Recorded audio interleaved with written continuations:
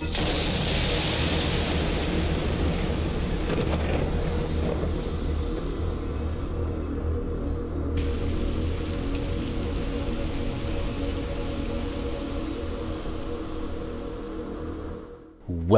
to Shep Rambles, where I am Shep and I tend to ramble about what? Anything and everything. And today we're going to ramble about Tesla and how much it costs and maybe the worst way of buying one, at least maybe not according to this article, which is from CNBC. Make it, make it happen. Well, I don't know. I don't think uh, the majority of this of us would be able to make this happen. But this 29 year old must be nice. Bought a $60,000 Tesla with a credit card and earned an estimated $5,000 in rewards. And you're probably thinking, hmm, how much in interest is this kid gonna pay for that? Well, let's jump right in here. So, this is Keith Rosso. Apparently, he took this picture too. Oh, he's he's holding something there. I don't know. Maybe that's his, maybe that's the key, or that might be the card he's using, or that's a remote control for a drone that he's using to take the picture. I don't know. And that's his wife, Liz with their Tesla Model, Model 3. Anyway, often, if using your credit card means incurring a fee, it's better to pay another way. Why spend more than you need to? But in some cases, the fee might be outweighed by the rewards. That was the case for 29 year old Keith, who recently used a credit card to buy a Tesla with his wife for a total of 58, well, basically $60,000, including taxes and fees. If you use credit cards responsibly, yeah, that's like I would say maybe 1% of the population would use a credit card responsibly. In the end, people try to use a credit card responsibly, but stuff happens. I mean, come on. How many times, I mean, how many times you try to use a credit card with good intentions and it works out, but then something happens? it's it's it hap- it seems to happen to every one of us. The best way the best way to play is to not play. Just don't get a credit card. That's the situation that my wife and I are in. Are in. Uh, we got to a point where we don't have credit cards now, and we will never get another one. We're done.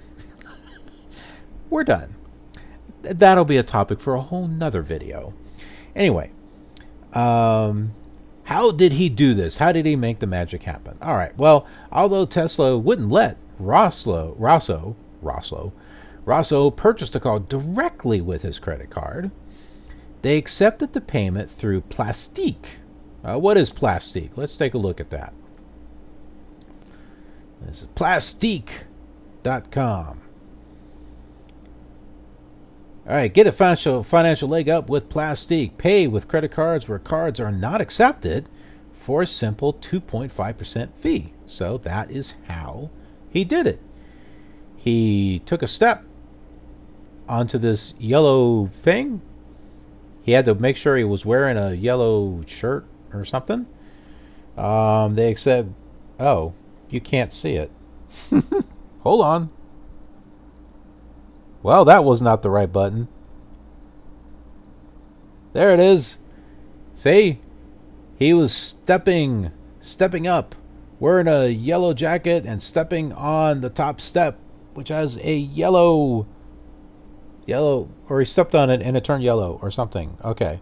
So I'm back. Kind of helps if I make myself disappear so that way. Maybe I should permanently make myself disappear. That might be what some people are saying. Anyway, so you can use, uh, well, you can't see it. Maybe I should move this over. See, Visa or MasterCard, Discover, American Express, JCB, blah, blah, blah, all this other stuff. Um, right, how it works. Let's see how it works. This is not an advertisement. I don't work for Plastiq, but this is just for the purposes of this article. So, your recipient doesn't need a Plastiq account. Just tell us name, bill, blah, blah. Char- uh, Plastiq charges your card. Okay, so you make your charge through this Plastiq. They charge your card, so I guess they act like they act like the middleman. So this place pays your bill. They pay. They pay. Uh, so they pay the bill, you pay them, basically. And that's it. This is your guy right here. This is you.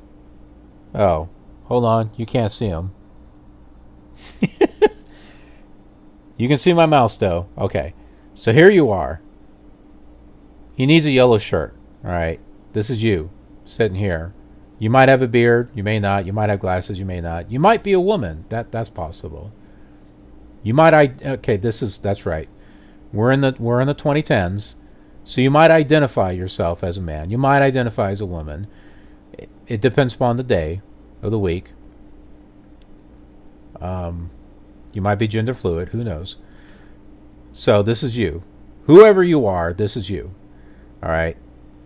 This is the plastic representative. He's going to take your information. And he's going to say, all right, I'm going to pay that bill and get that Tesla for you. You just give me your credit card information and we will charge your credit card. But we're going to charge you a 2.5% fee. Okie dokie. I understand that. Pay fast, direct. Oh, ah, as I choke. Pay fast, direct to vendors.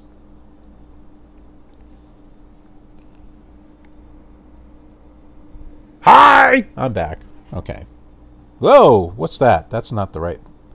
That's not the right frame. All right. We're professionals here on, on Shep Rambles, by the way. Okay, so...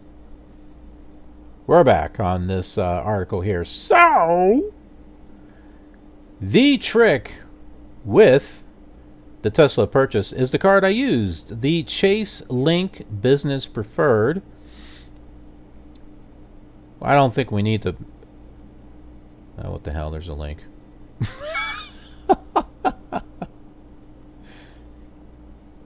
Creditcards.chase.com. Right here. All right. This is the Chase Ink Business Preferred 80,000 bonus points. All right. Here you go. So I got to make my. Oh, no. I can scroll down here. There we go. After you spend $5,000 on purchases in the first three months, uh, from an account opening. That's 1,000 towards travel rewards, blah, blah, blah, blah. So, yeah, you can apply now and earn three points per one dollar in the first 150. So, yeah, so here's all this uh, information three times points, etc., etc., etc. So, yeah. Um, that's what he's talking about here. There's a whole range of stuff. Uh, purchasing the car through Plastiq qualified for that three point reward weight, rate. Weight. Um, the Ink Business Preferred may one day only reward plastic, blah, blah, uh, the 2.5% fee. Okay, so he paid $1,470 just in the fee that goes to Plastiq. And you may be thinking, oh man, that's a lot but it earned him nearly 180,000 Chase Ultimate Reward points, and at minimum, that is uh, $1,800 in value. So you might be thinking, well, where did, where did that come to the 5,000? Okay, but it can be worth more than that uh, when it's redeemed for travel. So if uh, good old Keith transfer those points to the right hotel or airline rewards programs, he estimates that that'll be worth as much as $5,000. So in short, the rewards easily make up for the plas- plastics fee. So, well, then he's not really getting 5,000, right?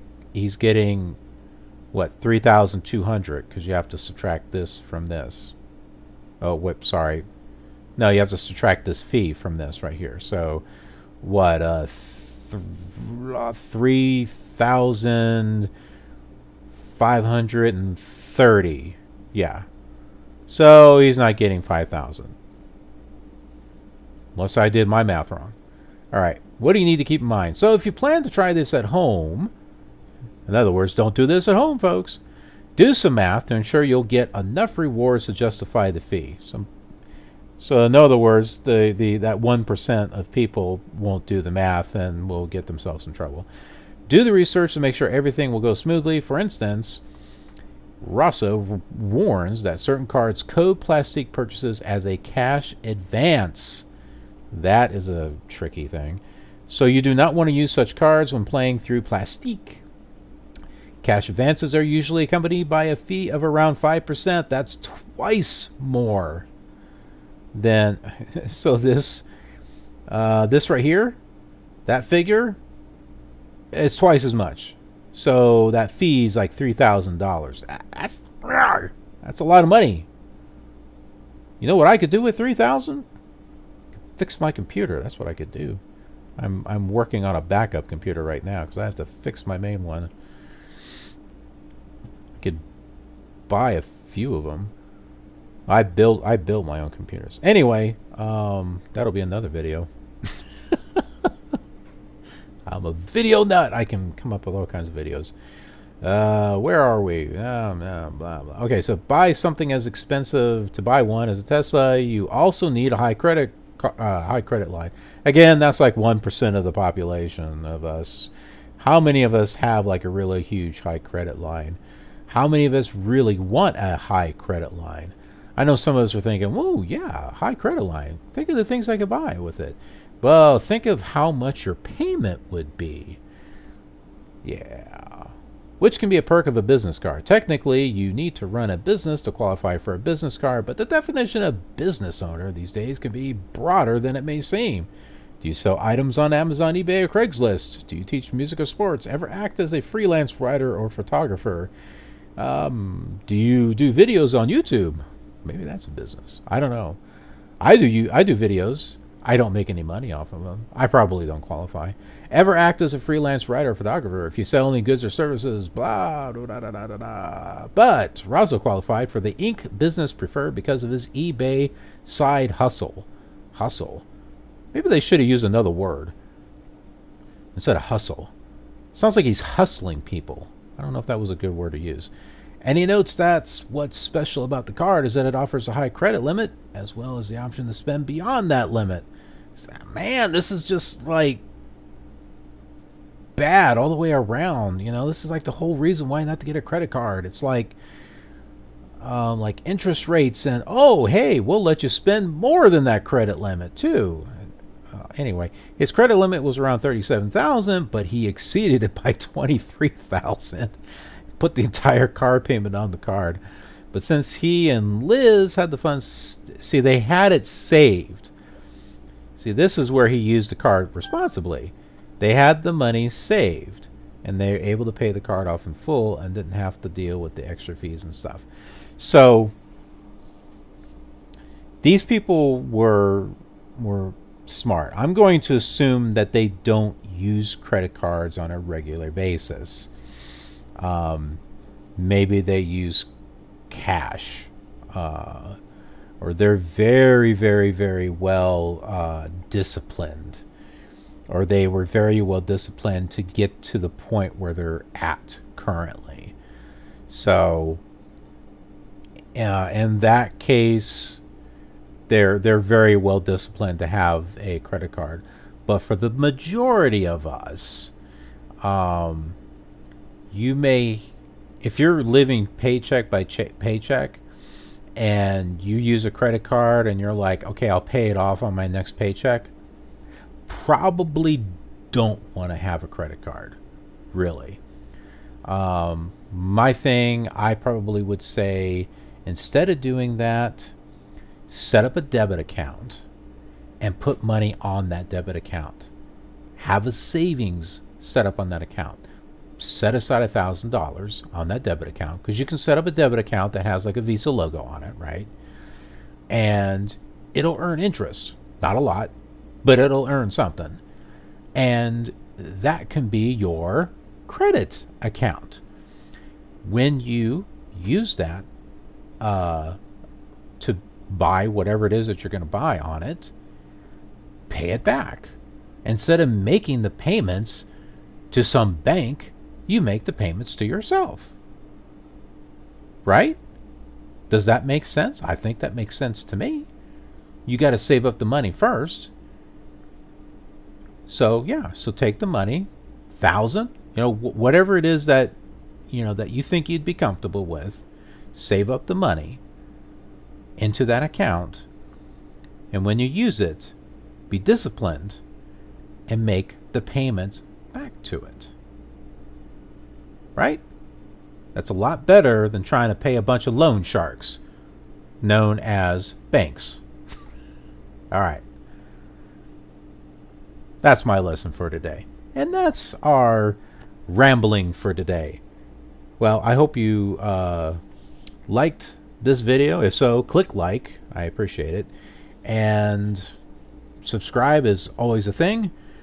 And other than that, I will see you on the next video. Don't forget to leave a comment. I'm always interested in your comments. See you next time. And if you enjoyed that topic, then you might enjoy my rambles on these topics. I make videos all the time on no particular schedule. Remember, your comments and rambles are also welcome here. Subscribe to get notified of more videos, and thank you for watching.